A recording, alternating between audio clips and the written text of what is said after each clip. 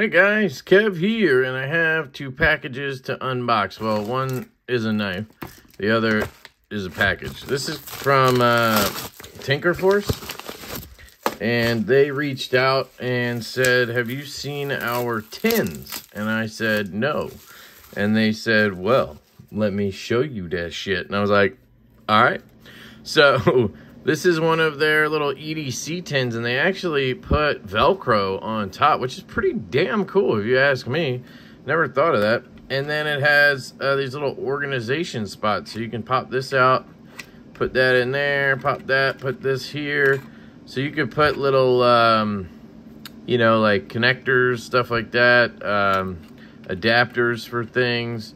You could put medications in here if you wanted to, I guess. I don't know if they would I guess they would stay, right?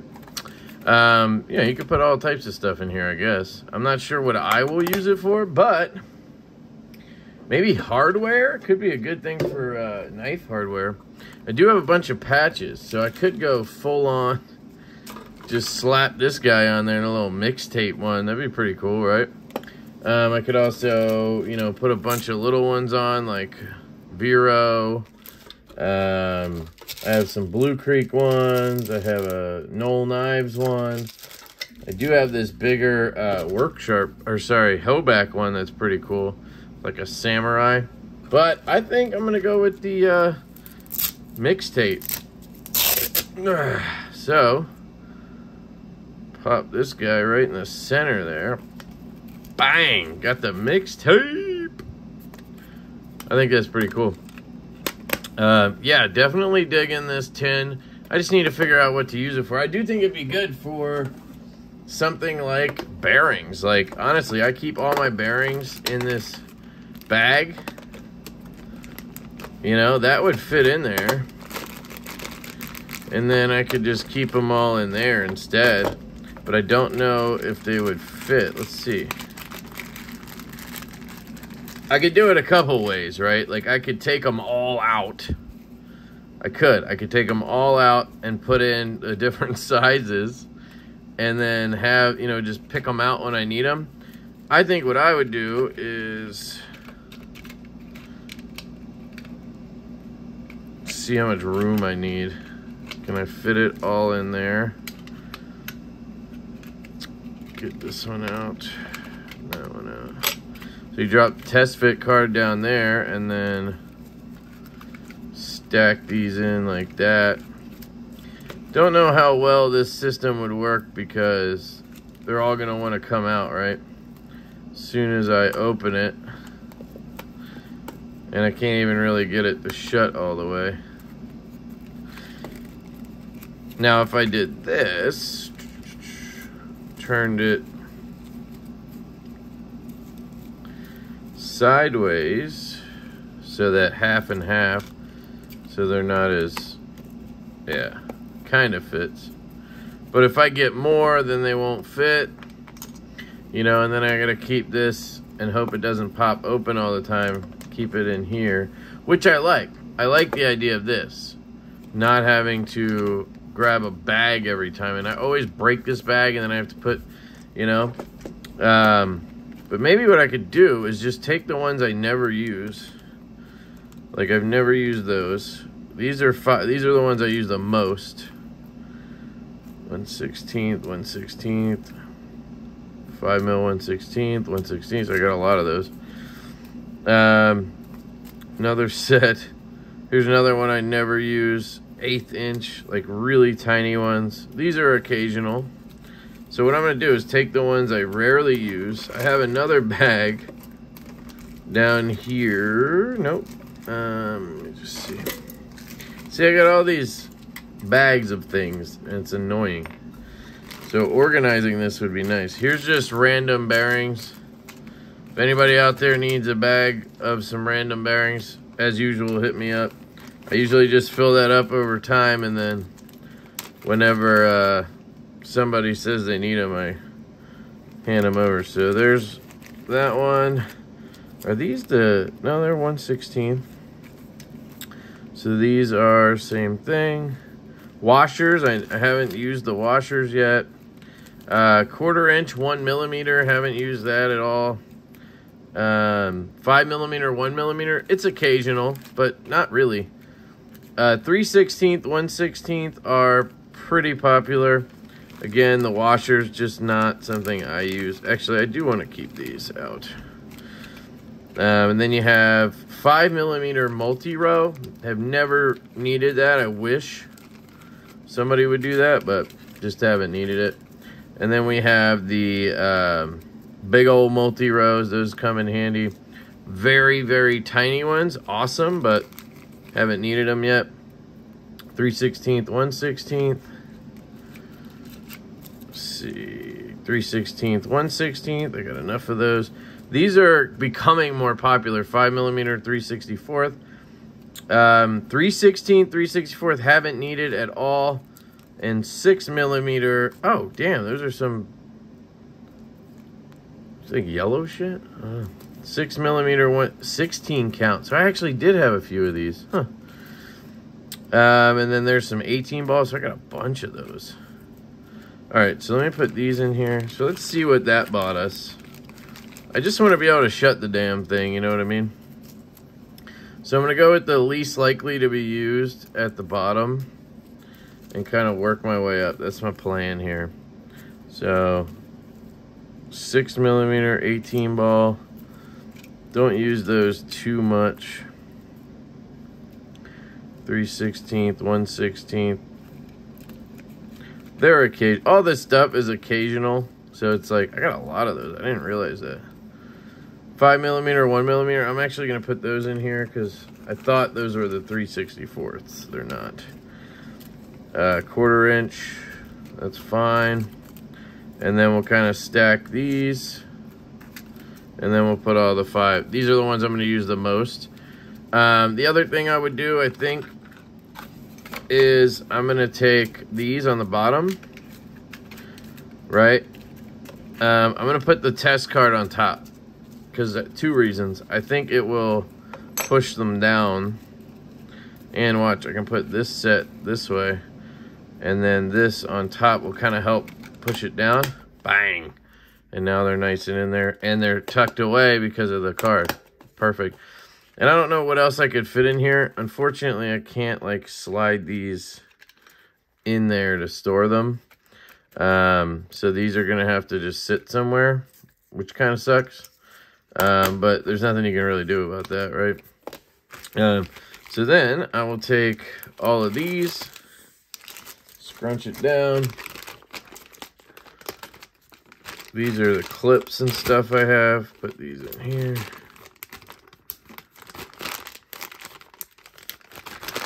I always squeeze it down so I get all the air out. So I can fit that in the back there. And then what I try to do is squeeze that down. This is like pivots and other hardware kits I might have. And then I try to put these bearings, the ones that I kind of fill up with the knives I swap out.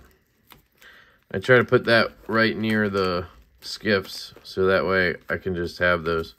Um, and these, since this is all going in here, I'll just shove these underneath here. There we go. So there's my new setup for my skiffs. So I'll just grab this out, pop it up, grab my card out, and then whatever size I need, right? Usually 5 millimeter 1 16th, and if I have to dig, I just dig in there. No problem, and I can push down to kind of get rid of that pressure and now it's sealed nice and tight. That'll go. Should slide right in here, no problems. Just push down a little bit. Yep, cool. All right, so I got that sorted out, which is nice. So that's the tin. Um, let's check out this knife from CMB. So this is, I believe, called the Cowabunga. I'm just kidding. It looks like that though.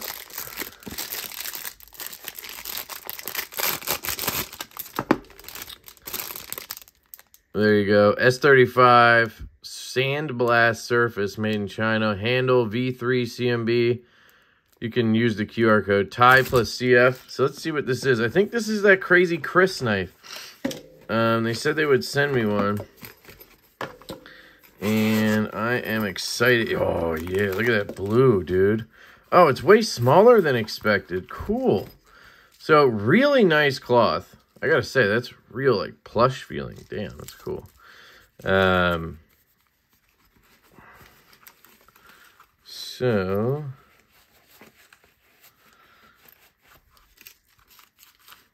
And then you have the knife. Let's just get this open. Attention, you are buying on knife. Keep the knife away from children. What? Okay. Damn, that is way smaller than I thought. And it has the aluminum uh, CF. Dude, this is a gnarly looking... This is beautiful, first off. Beautiful. Dead centered. Yeah, look at that milling on the sides. This step milling. That is crazy. They're calling this a sandblast, or is that the blade? It looks like a double-edged blade. Look at that. It is a frame lock, but as a righty, you would have this. I would probably just reach around it. As a lefty, we'll see. Oh, they hid the lock bar insert. They internally mounted it, or there isn't one. We're going to find out. This is very cool. Nice backspacer. Look at that crisp design. Just Now that edge is right there. And I am touching it. But if I do this, I'm not cutting myself. I would have to like jam my finger in. Ooh, that is oiled up. Okay, let's just take a look. Let's see how it looks without the oil because right now it looks a little shiny. Not a fan of shiny. This is what they're calling a sandblast. So don't know what that means compared to like a bead blast. Um, not a fan of bead blasts because they rust easy. This is S35, so it's not M390, which is good. I rust M390. Damn, look at that blade. Steel insert is in there and is internally mounted. That is freaking sweet. Look at those relief cuts. Look at this clip, dude. This thing is sick. Um, designed by Tiguas. Lock bar access. Wow.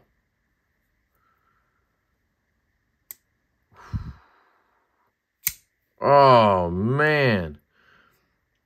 Dude, that detent is crispy. Like, it is not in the slightest weak. I mean, it is... Oh, it's perfect, dude. Literally perfect. Look at that action, dude. Holy shit. That's fucking crazy. I am so impressed with this. Look at that. The machining on this is just cool. Oops, that was me. Was it on the lock bar? Sure. Oh, I love that pivot. Look at that color on the pivot. And then the aluminum CF. Man. Ergos? Oh, yeah, it works. Um, yeah, I could see myself, like, picking it up the wrong way and going, Arr! but no. I mean, you have a clip and a lock, you can figure it out. Um, interesting. So you want to hold it more like this, probably, or this. You could pinch grip. You could definitely use this thing. Holy shit. I did see Jared's video on this. Uh, I guess he, you know, he got one before I did, so I caught the video. And, um, yeah, I mean, he really liked it. And uh, he was saying you can really use this as a, obviously, you can use it as like a claw. So it'd be really good for, you know, utility cutting. Like, holy shit, right? Um, now, I don't know about that kind of cut because you're going to be coming out, in and out of cuts, right? I'm getting caught as I go to that next hump. It's not that it's not sharp there, see? It's just that it catches, the angle changes, I guess.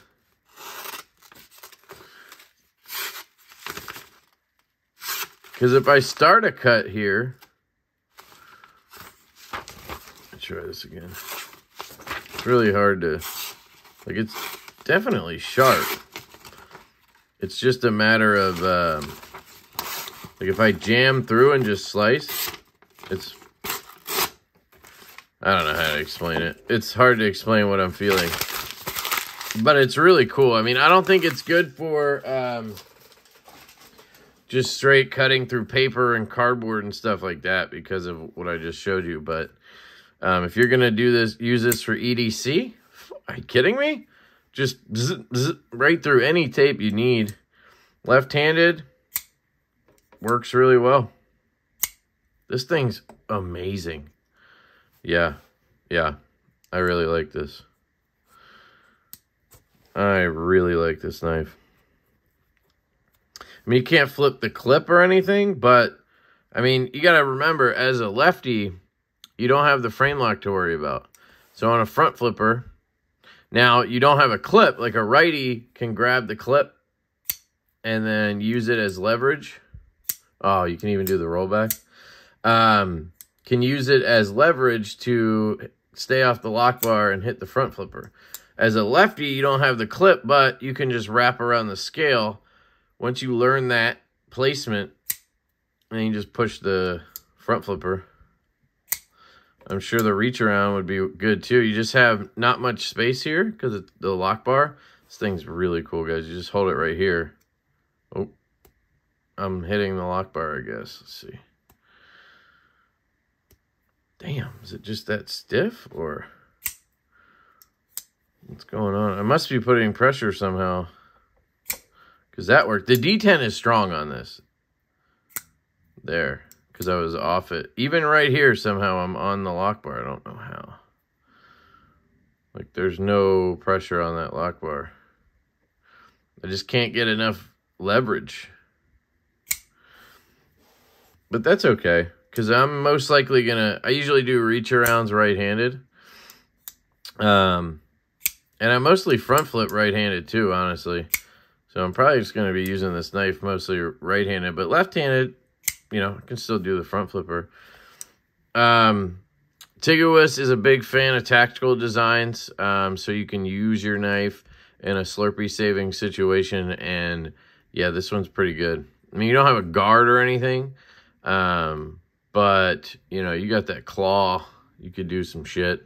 Um, and the ergos are, uh, they're better this way. So you could, I mean, you know, it's not any shit I'm going to be doing, but maybe one of you guys is crazy.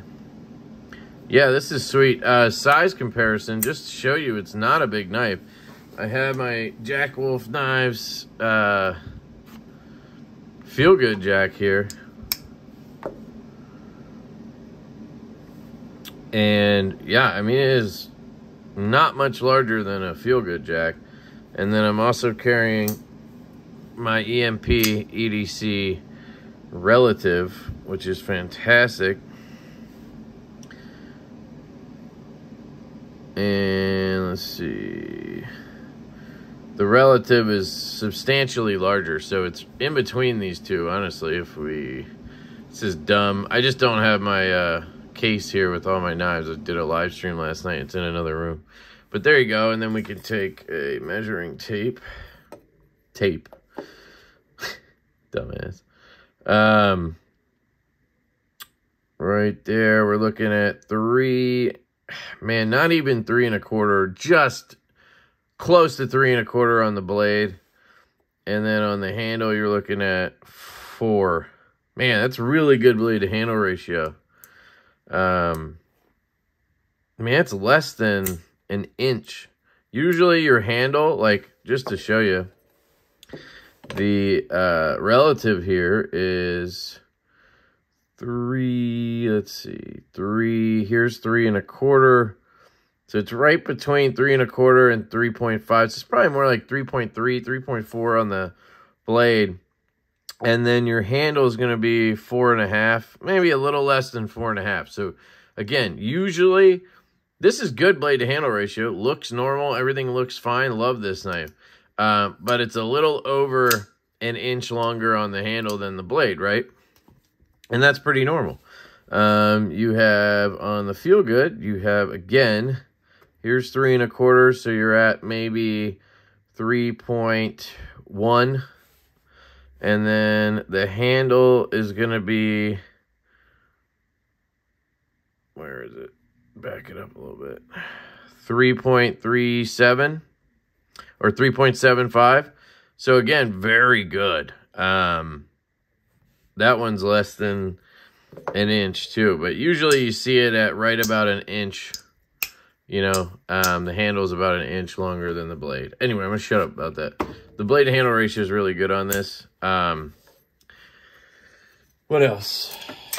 It's fucking awesome. That's really that's my takeaway from this, guys. It's not anything you've seen.